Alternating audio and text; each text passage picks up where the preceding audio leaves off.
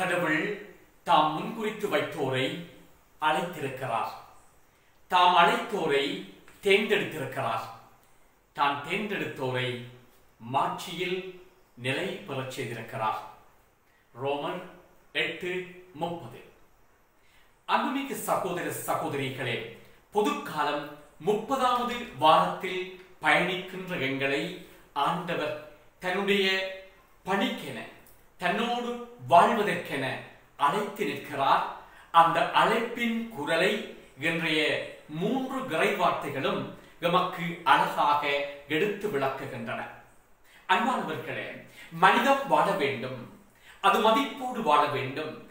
மனப்போடு வாழ வேண்டும். அதன் மூலம் இந்த உலகத்திலே புனிதம் பிரதிபலிக்க வேண்டும் என்பதுதான் மனிதனை படைத்த கடவுளுடைய நோக்கம்.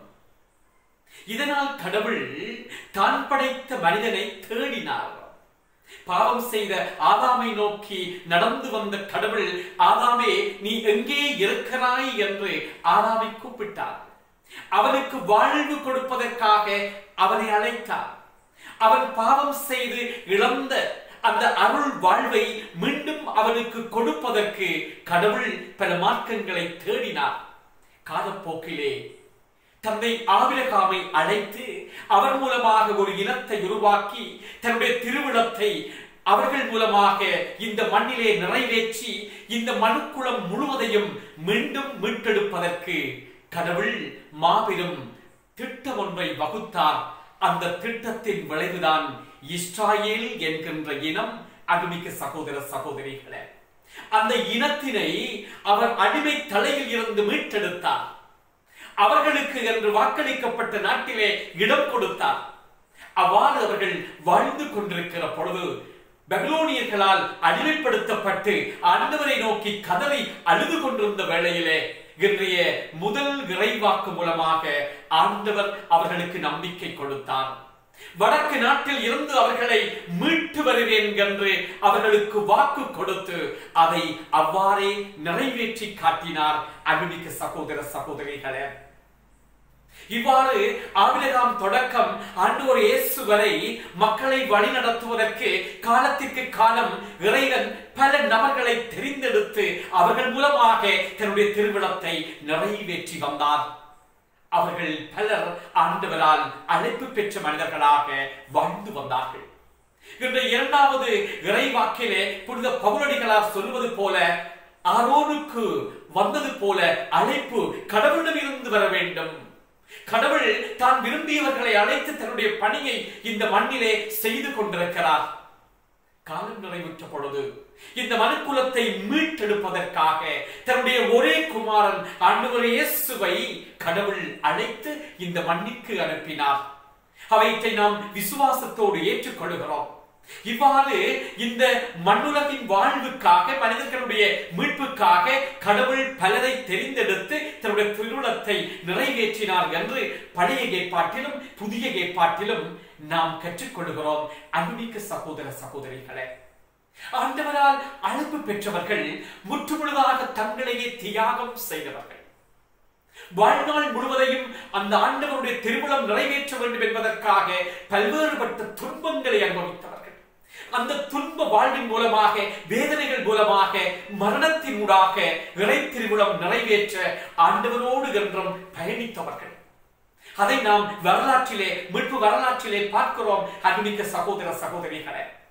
சில வேளைகளில் நாங்கள் யோசிக்கலாம் இறைவன் தனக்குரியவர்களை அழைத்து தன்னுடைய பணிக்கென அமர்த்துகின்ற பொழுது ஏன் அவர்களுக்கு இந்த துன்பங்கள் ஏன் அவர்களுக்கு இந்த துயரங்கள் என்று சில வேளைகளிலே நாங்கள் எண்ணலாம்.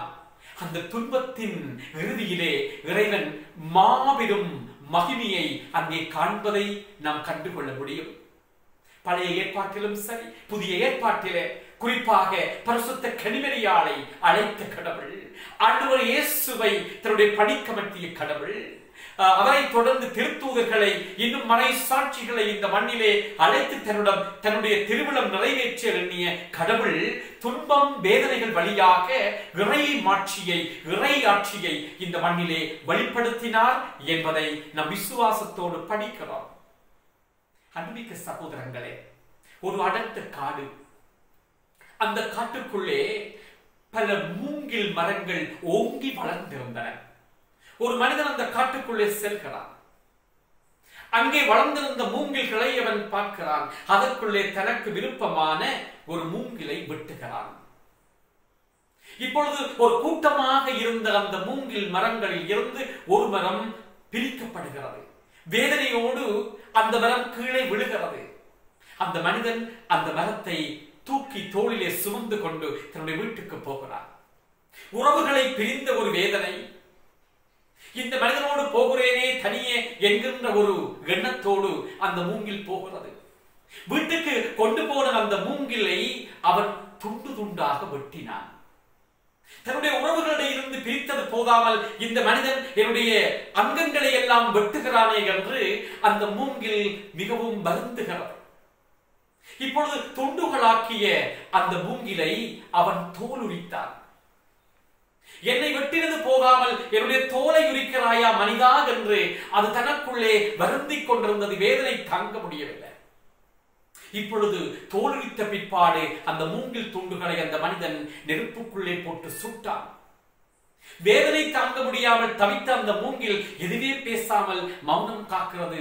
இப்பொழுது நெருப்புக்குள்ளே இருந்து அந்த மூங்கில் துண்டுகளை எடுத்து அவன் துளையிடுகிறான். இது என்ன விந்தை? இப்படிப்பட்ட ஒரு கொடூர மனிதனா என்று மூங்கில் வருத்தத்தோடு மனிதனை பார்க்கின்ற பொழுது அந்த துளைவிட்ட பகுதியால் அந்த மனிதன் அந்த மூங்கிலை எடுத்து வாசிக்கிறான். அந்த மூங்கில் அழகிய ஒரு புல்லாங்குழலாக மாறுகிறான் ஒரு அழகிய புல்லாங்குழலாக மாறுவதற்கு அந்த மூங்கில் அனுபவித்த துன்பம் அந்த துன்பத்தை அனுபவிக்கின்ற பொழுது இந்த மனிதனை நோக்கிய எண்ணங்கள் எல்லாவற்றையும் மறந்து தான் இந்த உலகிலே தனக்கொரு அடையாளத்தை வைத்துவிட்டேன் என்ற பெருமிதத்தோடு அந்த மூங்கில் அந்த மனிதனை அன்பொழுக நோக்கியது. அன்புமிக்க சகோதர சகோதரிகளை கடவுளும் ஒவ்வொருவரையும் பேர் சொல்லி அழைக்கிறார். தன்னுடைய பணிக்கென அவனை உருவாக்குவதற்கு அவனை உருமாற்றுவதற்கு பல வழிகளை காண்பிக்கிறார். அது சில வேளைகளில் எங்களுக்கு துன்பமாக தோன்றலாம். ஆனால் ஈற்றிலே எங்களுடைய வாழ்வு எங்களுடைய பணி எங்களுடைய தியாகம் அத்தனையும் இறைவனுடைய மகிமைக்காக என்று எண்ணுகின்ற பொழுது நாம் ஆண்டவரோடு ஒன்றாக இணைகின்ற பொழுது அடைகின்ற பேரின்பத்திற்கு அளவே இல்லை என்பதை நாங்கள் ஒவ்வொருவரும் கண்டுணர்ந்து கொள்ள வேண்டும் விசுவாசத்தோடு ஏற்றுக்கொள்ள வேண்டும். அன்பிக்க சகோதர சகோதரிகளே இன்றைய நச்செய்தியிலே வருகின்ற பார்த்திமேயு என்கின்ற பார்வையற்ற மனிதன் வாழ்நாள் முழுவதும் துன்பத்தை அனுபவித்த மனிதன் ஆண்டவர் இயேசுவால் அழைக்கப்படுகிறான் அந்த நிலையை நாம் ஒவ்வொருவரும் என்று உற்று நோக்குகின்ற பொழுது அந்த பாட்டினையுடைய வாழ்வில் இருந்து நான் ஐந்து விடயங்களை உங்களுக்கு கட்டமிட்டு காட்டுகிறேன். முதலாவது கண்டுணர்தல். இயேசு அந்த வழியாலே போகிறார் என்பதை மற்றவர்கள் சொல்ல அவன் கேள்விப்பட்டு இயேசுவை தன்னுடைய உள்ளத்துக்குள்ளே அவன் கண்டுணர ஆரம்பிக்கிறான். இரண்டாவது அறிக்கையிடுதல் இயேசுவை ஒருபோதும் கண்ணால் கண்டதில்லை. ஆனால் அதை பற்றி கேள்விப்பட்டிருக்கிறான். அதை தன்னுடைய மனதுக்குள்ளே உணர்ந்து கொண்டு இயேசுவே தாவீதின் மகனே என்று இயேசுவை அவன் அறிக்கை செய்து கூப்பிடுகிறான். மூன்றாவது மன்றாடுகிறான். என்னேது இறங்கும்? எனக்கு பார்வை தாரம் என்று சொல்லி ஆண்டவர் இயேசுவை பார்த்து மன்றாடுகிறான். இதை கேள்விப்பட்ட இயேசு மற்றவர்களை அனுப்பி அவனை அழைத்து வரும்படி பணிக்கிறார். அவன் இயேசுவுக்கு முன்னாலே வருகிறான். இயேசு கேட்கிறார் உனக்கு என்ன வேண்டும்? அன்றுவரே நான் பார்வை பெற வேண்டும் என்று சொல்கிறார். ஆண்டவர் கூப்பிட்டவுடன் நாலாவது விடயம் என்ன செய்கிறான்? அவன் எல்லாவற்றையும் விட்டு விடுகிறான். அங்கே நச்செய்திலே பார்க்கிறோம். மேலுடைய கலர்ச்சி எறிந்து விட்டு ஓடி வருகிறான். அதனுடைய அர்த்தம் தன்னுடைய வாழ்க்கையிலே அவன் பற்றி கொண்டிருந்த அத்தனையையும் அவன் களைச்சி விட்டு ஆண்டவர் இயேசுவிடம் தூய்மையான மனதோடு ஓடி வருகிறான். ஐந்தாவது ஆண்டவர் இயேசுவை அவன் பின்பற்றுகிறான். தான் பார்வை பெற்ற பிறகு தான் வாழ்ந்த உலகுக்கு அவன் திரும்பி செல்லவில்லை. மாறாக ஆண்டவர் இயேசுவே கதி என்று அவரை பின்பற்றினான்.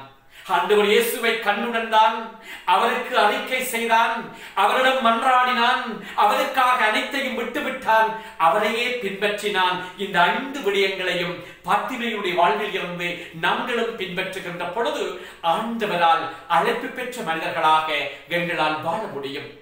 அதை இந்த வாரம் முழுவதும் நாம் சிந்தித்து பார்ப்போம். என்ன நேர்ந்தாலும் இறைவனுடைய மகிமைக்காகவும் திருச்சபையுடைய நன்மைக்காகவும் ஏழை மக்களுடைய நல்வாழ்வுக்காகவும் ஆண்டவருடைய குரலொலியை எங்களுடைய உள்ளத்திலே ஏற்றுக்கொண்டு அது ஆண்டவருடைய அழைப்பென்று உணர்ந்து கொண்டு அவரை பின்பற்ற நாம் முயற்சி செய்வோம் வாழுவோம்.